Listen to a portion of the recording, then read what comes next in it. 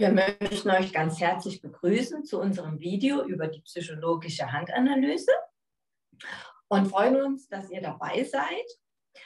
Ähm, bevor wir starten, möchte ich euch erst Andreas und Natascha vorstellen. Natascha wohnt in Zürich und Andreas wohnt in Nürnberg. Und wir haben zusammen die Ausbildung zum, ähm, zur psychologischen Handanalyse in der Schweiz gemacht. Und da wir diese Methode so schön finden und so hilfreich, und sie kann Menschen auf ihrem Lebensweg sehr, sehr gut unterstützen, möchten wir sie euch hier gerne vorstellen. Und im Rahmen der Analysen, da werden uns häufig verschiedene Fragen gestellt. Und wir haben jetzt in diesem Video die Hauptfragen, die wir immer wieder hören, zusammengestellt und werden die so abwechselnd für euch beantworten. Und die erste Frage, die wird die Natascha für uns beantworten. Und das ist die Frage, was ist eine solche psychologische Handanalyse? Ja, also eine psychologische Handanalyse ist sowas wie eine Bedienungsanleitung für das eigene Leben wer hätte nicht gerne einmal eine Bedienungsanleitung? Wenn man ein Gerät kauft, hat es auch immer eine Bedienungsanleitung dabei.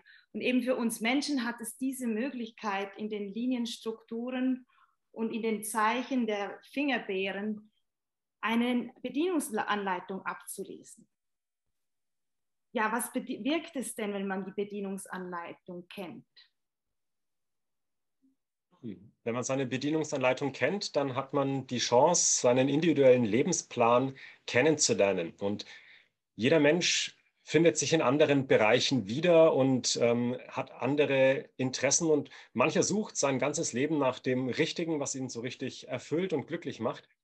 Und die psychologische Handanalyse kann einem da Hinweise geben, in welcher Richtung man da suchen kann, um seinen seine Erfüllung zu finden, ähm, um Tätigkeiten zu haben, die einen weiterbringen, wo man sich wirklich aufgehoben fühlt und mit denen man dann weitermachen kann. Also man kann mit der psychologischen Handanalyse seine Talente besser erkennen und auch Ideen entwickeln, wie man diese Talente dann auch ähm, einbringen kann in sein Leben. Das hat dann den Vorteil, dass man zum aktiven Gestalter wird und aus der passiven Opferhaltung ein bisschen rauskommen kann, ähm, da man weiß, in welche Richtung man gehen und blicken kann. Man kann aber auch seine Schwächen dadurch ein bisschen akzeptieren und langsam verändern in die Richtung, in die es dann eben geht. Und ein Beispiel könnte dabei sein, ähm, das Thema Geduld. Geduld ist an sich eine sehr gute Tugend, aber in der, ähm, in der einen Richtung ist es dann die Ungeduld. Wenn man zu wenig Geduld hat, ist man ungeduldig. In der anderen Richtung, wenn man vielleicht zu viel Geduld hat, wird man gleichgültig. Und in der psychologischen Handanalyse lassen sich genau solche Tugenden ein bisschen ähm, herauskristallisieren, wo man sich dann Gedanken machen kann, ob man hier im zu viel ist oder eben im zu wenig ist, um die Mitte zu finden, ähm, die dann hilfreich ist und einem in seinem Leben dann weiterbringt. Und man versteht seine Lebenssituationen ein bisschen besser. Und die Frage, die man sich vielleicht oft stellt, warum passiert das immer mir, kann mit der psychologischen Handanalyse in ein ganz neues Licht gerückt werden, weil man plötzlich vielleicht verstehen kann, aha, deshalb passiert das alles mir. Und ähm, das Buch, das da den passenden Titel trägt, Nimm dein Leben in die eigene Hand, ähm, beschreibt das System der psychologischen Handanalyse. Und wer nicht direkt in die psychologische Handanalyse gehen will, sondern sich theoretisch damit beschäftigen will, kann sich mit diesem Buch beschäftigen. Es gibt sehr viele Hinweise in diesem Buch, die einem da weiterbringen können. Aber für uns soll es jetzt weitergehen mit der Frage, wie ist dieses System psychologische Handanalyse eigentlich aufgebaut? Ja, dieses System, das besteht aus zwei Teilen, aus einem veränderlichen Teil und einem unveränderlichen Teil. Und diesen veränderlichen Teil, den nennen wir auch den Werkzeugkoffer. Und dieser Werkzeugkoffer, der wird ablesen oder herausgelesen aus der Handfläche, hier aus diesem Bereich. Und wenn ihr das selber mal in diesen Bereich bei euch reinschaut, dann werdet ihr sehen, da gibt es verschiedene Linien, Strukturen, da gibt es vielleicht mal eine kleine Insel oder ein Dreieck oder Sterne. Also ganz verschiedene Gebilde, die sich da zeigen. Und aus diesen Linien und Strukturen, da kann man zum Beispiel die Talente, die der Andreas eben erwähnt hat, herauslesen. Die Talente, die Potenziale, die Möglichkeiten, die ein Mensch mitbringt und die er hier quasi in seinem Leben einsetzen kann. Und ähm, neben diesen Talenten kann man auch verschiedene Herausforderungen oder Blockaden erkennen. Und das kann sehr nützlich sein, wenn man die wie aufdeckt. Denn ähm, wenn man weiß, wo man vielleicht Schwierigkeiten hat, dann kann man vielleicht da darauf achten und kann da schon gegenlenken. Kann wie das Problem erkennen und kann lösungsorientiert dann eben vorgehen und handeln. Das ist viel leichter, wie wenn einem immer wieder Dinge widerfahren und man gar nicht so recht weiß, warum einem das jetzt gerade wohl passiert. Ja, und je nachdem, ähm, es ist ja quasi eine Bedienung für unser Innenleben, für unsere Psyche. Und wenn wir da anfangen, auch Veränderungen vorzunehmen, dann kann es auch sein, dass sich die eine oder andere Linie in der Handfläche auch diesbezüglich verändert.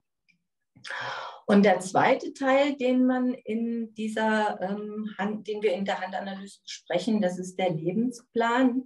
Und dieser Lebensplan, der ist ein ganzes Leben lang unveränderlich und den können wir erkennen in diesen Abdruckmustern, die sich hier finden auf den Fingerkuppen.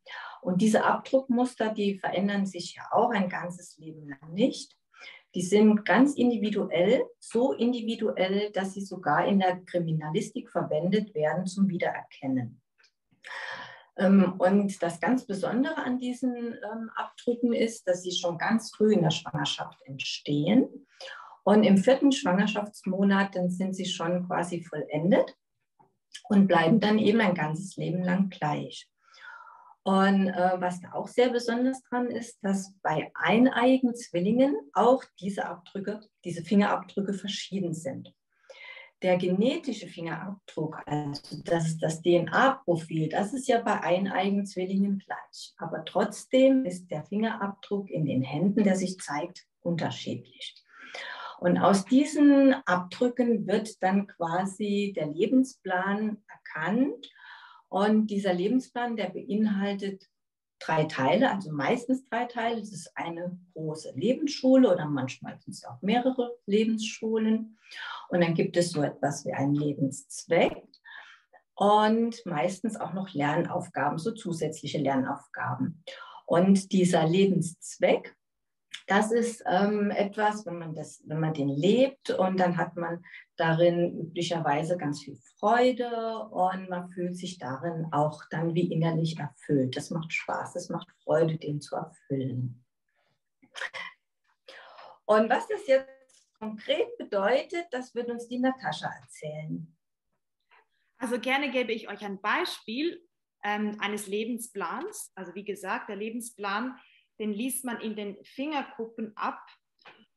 Und in meinem Beispiel hätte es jetzt immer das gleiche Muster, ein Schleifenmuster. Und wenn ein Mensch so viele Schleifen mitbringt in seinem Lebensplan, wie gesagt, es können Schleifen sein, es können auch andere Zeichen sein, aber in diesem Beispiel sind jetzt, jetzt Schleifen. Und wenn ein Mensch so viele Schleifen mitbringt, dann kann man da ablesen, dass dieser Mensch sich in der Schule des Fühlens, in der Schule der Liebe befindet. Und ein Schüler, eine Schülerin in der Schule der Liebe ist aufgefordert, die Balance zu finden zwischen dem zu viel Empfinden, zu viel Fühlen, zu sehr überflutet sein von Emotionen und dem zu wenig. Im zu wenig kann es sein, dass man sich gar nicht mehr öffnen möchte den Emotionen. Entweder weil es Verletzungen gibt und man denkt, ich möchte lieber ähm, mich schützen und ich öffne mich nicht mehr so sehr. Egal wo man steht, es geht immer darum, dass man sich emotional authentisch zeigen kann, dass man diese Balance findet zwischen dem zu viel und zu wenig. Und das Leben wird einem die Möglichkeit geben, genau an diesen Themen zu arbeiten. Es werden immer wieder solche Aufgaben auf einem zukommen, wo man genau das äh, lernen kann. Und dann gebe ich gerne auch ein Beispiel des Werkzeugkoffers. Wie Katja schon erwähnt hat, ist der Werkzeugkoffer in der Handfläche zu sehen, in den Fingerlängen, in diesen Polstern, die man auch mitbringt, in den ganzen Linienstrukturen. Und das Beispiel, das ich gerne gebe, ist ein Beispiel einer Kopflinie. Und die Kopflinie sagt etwas darüber aus, wie ein Mensch denkt. Und diese Kopflinie im Beispiel hier ist eine Analytikerlinie. Wie ihr seht, ist sie ganz lange. Sie geht fast bis über die ganze Hand. Und wenn jemand das mitbringt, ist das ein Talent, ein Talent im Denken. Das ist eine Person, die kann sehr komplex denken, analytisch denken. Das ist jemand, der kann viele Informationen sammeln. Und es ist, ein, wie gesagt, ein Talent, aber auch bei einem Talent kann es in ein zu viel kippen. Also es kann auch sein, dass jemand dann aus ganz vielen Dingen Probleme macht oder über Dinge viel zu lange nachdenkt und nicht zu Entscheidungen kommt. Also jedes Talent ist wieder so ein, bei jedem Talent geht es auch darum, die Balance zu finden. Und was kann denn so eine Handanalyse nicht aufzeigen. Bei all den Qualitäten der Handanalyse, die wir jetzt schon gehört haben, was sie nicht kann, ist in die Zukunft blicken. Es ist also keine Zukunftsvorhersage. Wir können nicht aus der Hand herauslesen, ähm, dass man morgen seinen Traumpartner kennenlernen wird, dass man vier Kinder haben wird ähm, und außerdem der nächste Job wird der beste mit dem ganz vielen Geld. Nein, das können wir in der psychologischen Handanalyse nicht, sondern wir können nur Themenbereiche analysieren, die für die Person im Leben wichtig sind. Ähm, aber wir können nicht einordnen, ähm, wo die Person steht in diesem Thema, sondern wir können nur diese Themen ansprechen und im Gespräch ähm, in dieser Sitzung dann herausfinden, ähm, wie die Sache weitergehen kann. Also, ob sich der Mensch auf seinen Weg begeben wird, können wir nicht in der Hand lesen, sondern wir können nur die Richtung abstecken, in welche, ähm, in welche Richtung der Weg zur Selbstverwirklichung gehen kann. Aber es bleibt die freie Entscheidung jedes Menschen, ähm, ob er diesen Weg tatsächlich geht, ob er die Hilfs Hilfestellungen der psychologischen Handanalyse oder des Lebens ähm, annimmt, aufnimmt, um sich zu verwirklichen, ähm, um seine Talente zu leben. Ähm, oder ob er diese Talente ablehnt, ob er sich eher ähm, da zurücknimmt. Das lesen wir nicht aus der Hand. Wir haben, die Hand ist keine, für uns keine Kristallkugel, die eine Zukunftsvoraussage bietet. Was die psychologische Handanalyse ebenfalls nicht ist, ähm, sie ist keine Psychotherapie.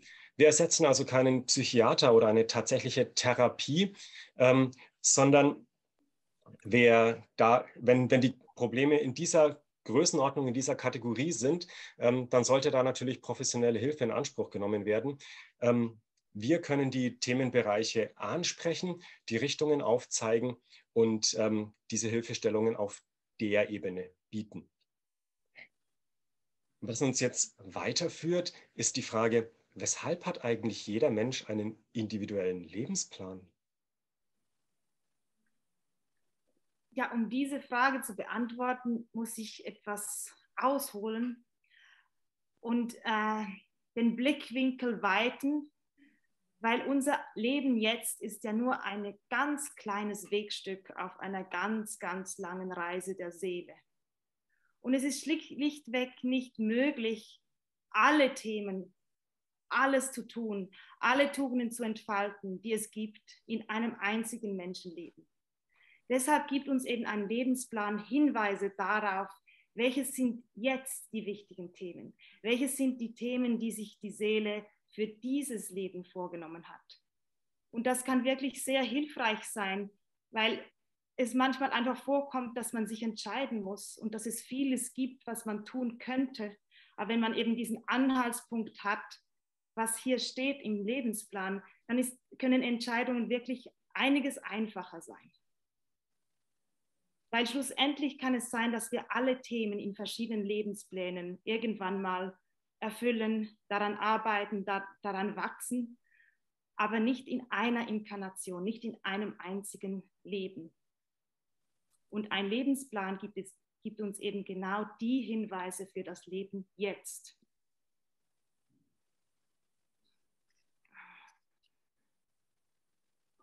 Und in diesem Leben jetzt, haben wir gehört, ist man in einer bestimmten Schule. Und was es mit dieser Schule auf sich hat, was, in welches Weltbild eine solches, ein solches Bild von Schulen, von Lebensschulen passt, das wird uns Andreas jetzt etwas erläutern. Wie Natascha gerade schon gesagt hat, ist der Blick dann geweitet und man betrachtet nicht nur ein Leben, sondern ent, ähm, erkennt das Leben als eine Abfolge, als kurzen Ausschnitt.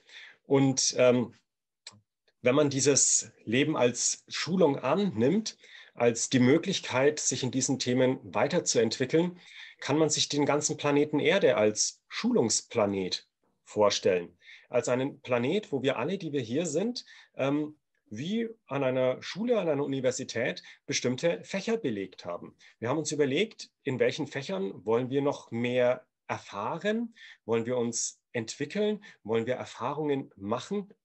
Und da haben wir uns wie eingeschrieben und wollen in diesen Fächern uns weiterentwickeln. Und in der psychologischen Handanalyse, wie es vorher schon angeklungen ist, hat jedes dieses, dieser Fächer, dieser Schulen ähm, wie Natascha uns schon eine, die Schule des Fühlens vorgestellt hat, eben wie zwei Türen, durch die man in dieses Schulzimmer kommen kann. Und das ist immer die Tür des zu viel und die Tür des zu wenig. Und je nachdem, durch welche Tür man gekommen ist, ähm, hat man eben die bestimmten Veranlagungen, ähm, mit diesem Thema umzugehen.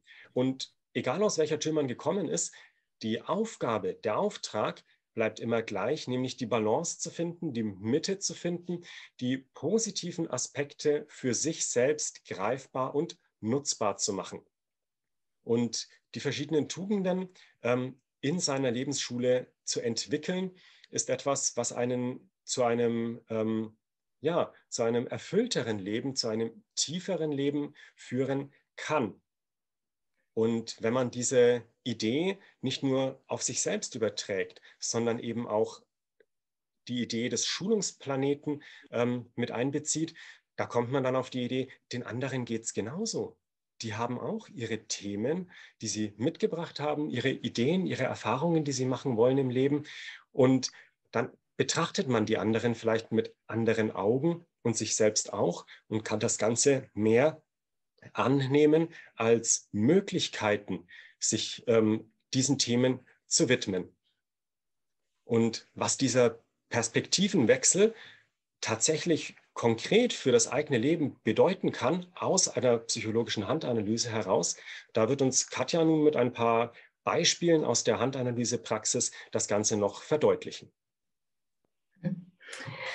Ja, was wir in den Analysesitzungen recht oft beobachten, ist, wenn ähm, wir quasi das vorstellen, was der Andreas uns gerade erklärt hat, dass sich dann so was wie eine Erleichterung einstellt, so was wie ein Aha-Erlebnis. Aha, so kann das hier also auch gestrickt sein. Wir sind also sowas äh, wie hier, wie Schüler, die hier angekommen sind und was lernen möchten was ja bedeutet, dass wir auch Fehler machen und dass, dass ich selbst als Mensch Fehler mache und dann ähm, ist ja die Konsequenz daraus, dass man einfach mit sich selbst ein wenig milder umgeht und vielleicht auch aufhört, sich weiterhin Selbstvorwürfe zu machen.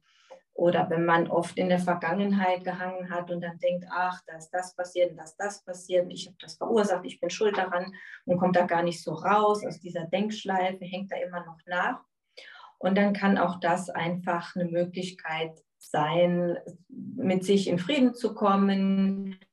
Sowas wie Schwamm drüber, was jetzt in der Vergangenheit da war, das war. Und das habe ich eben vielleicht nicht so gut gemacht. Oder vielleicht hat ein anderer oder mehrere andere einem auch vielleicht wehgetan auf emotionaler Ebene und dass man vielleicht auch damit in Frieden kommen kann und dann wie nochmal neu anfängt, wie einfach ein Kind, was versucht, das äh, Laufen zu lernen und dann fällt es hin und dann steht es wieder auf und weiter geht's. Das macht sich dann auch nicht Gedanken darüber, wie oft es jetzt schon hingefallen ist, sondern geht einfach seinen Weg weiter. Und wenn man zu einem solchen Mindset kommen kann, dass man wie dieses Leben hier als Chance sehen kann, dass einem Probleme vor die Füße gelegt werden, die man lösen kann. Problema heißt der Latein, ist der Latein, das auf Deutsch das Vorgelegte. Und dass man daran wachsen kann, eine Lösung finden kann und alles als Chance sieht und auch äh, einverstanden ist mit dem, was einem passiert, dann wird das Leben viel, viel leichter. Ja, ähm, genau. Und jetzt wollen wir uns noch anschauen, wie eine solche Handanalyse-Sitzung denn abläuft, wenn ihr zu uns kommt oder wenn ihr das online machen möchtet. Und das wird uns die Natascha sagen. Ja, eben, es gibt die beiden Möglichkeiten, online oder vor Ort. Wenn es vor Ort ist, dann werden die Hände mit einer wasserlöslichen Tinte bemalt und es wird ein Abdruck gemacht dieser wird dann analysiert und dann besprochen. Wenn man es online machen möchte, gibt es entweder die Möglichkeit, dass man per Post Tintenblätter zugeschickt bekommt und die Abdrücke alleine macht und dann uns schickt, entweder per Post oder als Scan per E-Mail. Oder es gibt auch die Möglichkeit, Fotos einzusenden der Hand. Die müssen einfach gut fokussiert sein, damit man wirklich alle Linien sieht. Aber das ist auch kein Problem, das geht auch ganz ganz gut. Ja, genau. Und eine Handanalyse-Sitzung ist normalerweise eine einmalige Sitzung. Es ist so wie ein, ja, eine Übersetzung des Lebensplans und des Werkzeugkoffers. Es gibt aber manchmal Menschen, die haben so viele Themen und es ist so komplex, dass sie mehrere Male kommen möchten. Und das gibt, diese Möglichkeit gibt es dann auch. Das ist je nach Bedürfnis ganz verschieden. Normalerweise ist es einfach eine einmalige Sitzung. Ja, danke Natascha für die Ausführung. Und wenn ihr jetzt noch irgendwelche Fragen habt, dann schreibt uns doch gerne eine E-Mail oder kommentiert hier unter dem Video. Wir stellen hier in die Textbeschreibung unter dem Video unsere äh, Kontaktadressen rein. Und wenn ihr eine Analyse möchtet, könnt ihr auch gerne mit uns Kontakt aufnehmen. Wie gesagt, es ist ähm, direkt vor Ort möglich oder auch online. Und äh, wir freuen uns sehr, dass ihr unser Video angeschaut habt und ähm, wünschen euch noch eine schöne Zeit.